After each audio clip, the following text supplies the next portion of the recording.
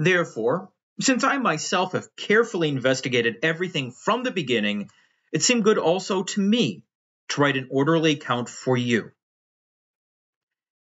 So Luke says, Yeah, lots of people have written about Jesus, but I've done a lot of research into this. Luke, first off, fully admits he's not an eyewitness, but he did the work.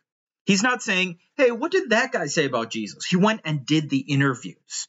He talked to people, he weighed the evidence, and he says, Okay, now I'm going to write this down in an orderly way. And Luke really does that. Uh, certain books of the Bible, like the book of John, seems a little bit more thematic. Uh, Luke is going to do it more chronologically. First, this happened, and then this, and then this.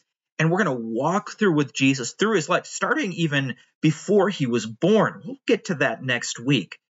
But Luke is saying, I want this to be orderly so that you can know this is what happened.